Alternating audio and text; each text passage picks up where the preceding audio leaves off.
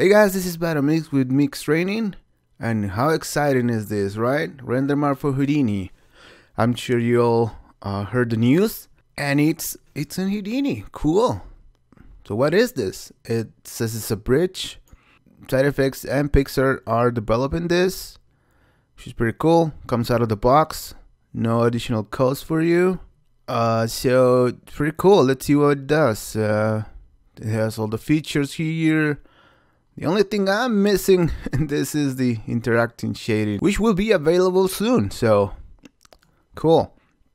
So it supports everything. As but how do we use this? Is does this come with Houdini? Is it installed with Houdini? Should I just install Houdini?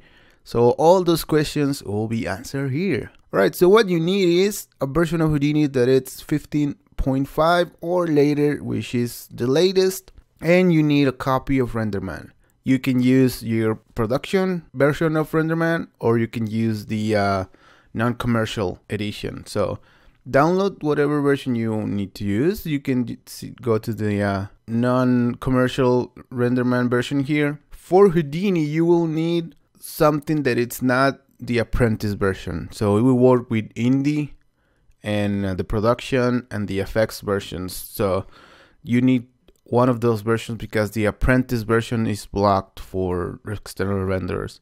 Alright, so I already downloaded uh, the installer and it's here using Linux. I'm gonna open a terminal. I'm gonna type the name of the file sudo rpm install and then I just gonna copy the name here. So I'm gonna install that, run it, type my password it's installing. Alright, now that that is installed, if you go to your OPT folder, Pixar, it will install this folder here. You can see I have other versions installed here, but th this is what it's gonna install. In the bin folder, you need to run this installer. You just double click it, but it won't work. So again, we need just a terminal. Let me just, I'm gonna run this as an administrator. So now you, you will run your your install. Here, uh, if you're using the uh, non-commercial edition, it will just ask you for your forum and password ID. So just type those there. All right, now that you enter your details there, you are presented with the uh, installation options here. What you need to install here is the RenderMan Pro server. So click the show all button here. If you have versions of uh, Maya that you want to install, you can do it that here. What I do is just I take off all these guys because I don't have Katana or anything like that. I put the license server and pro server. This is what you need, the pro server. Let's just click next and it will start installing everything. Just wait for this to finish. Alright, so now that it's done, we can just click finish. And what will happen here is you're gonna have uh, this folder this one, the Pro Server 20.2. And uh, inside here, it's uh, everything we need for RenderMan. You can see PRMan, it's here, it is here. All right, so now we need to set this up with Houdini because right out of the box, it's just gonna give us some errors. So we need this path, so let's copy this path. And all these instructions will work for Windows as well. So just do the same if you are on Windows. So let's open our a Houdini folder our user Houdini folder and find the Houdini Houdini.env file. Open it in any text editor. So here it is. It's it's gonna look like this, and you need to put uh, two lines here. You need to put so you need these lines here. You need this RMANTREE variable. Add this uh, bin folder to the path so we can execute prman. This is the path to where you install RenderMan Pro server so copy that. This is the path you need to copy. And you can see there's a bin folder there, which is what we are setting here. We're adding this path plus the bin folder. So now you have this in the Houdini.env file, just save it. If you are on, I am not sure in Windows, but I think these variables get set automatically. But I'm pretty sure, pretty sure on Mac it, they, they won't, and in Linux they they don't. So Set this for your OS as well if you want to use RenderMan outside of just Houdini. So now that we have that, we can start Houdini. Alright, now in Houdini, now that you set those environment variables, Houdini will uh, recognize RenderMan. So there's a few things you need to do. If you go here to the properties, preferences, rendering, if it's not activated, you need to activate this Pixar RenderMan 21. It's always there, but if you activate this before you don't you don't have actually how to connect it to RenderMan. And so now, if when you do that, if you go here, you see a few RenderMan menus here in, in Chops, and also here you can create a RenderMan uh, output drivers. There's also a shelf. You need to click here in this in this uh, plus sign, go to shelves. There's a RenderMan RIS shelf. Activate that, and that will give you this shelf, which is pretty damn useful. So now you have this and you have your renderman variables set, you can start using renderman. Alright, so I have a pretty simple scene here just to show you how to start using renderman. And I have my friend Roberto here on the floor. It's pretty simple, it has no textures. So if I go here, just use the shelf for easy creation of, of all the nodes because it involves creating a few nodes. So just use the shelf, it will create the, the uh, nodes for you really quick. So create a ROP, which is gonna be like the render output, which is here. You can see I have this output here. I will create the RenderMan outputs for you. It will create a, an, an integrator already and it's gonna connect it here, which is pretty useful. If you go to shops, you can see there's a RISnet here.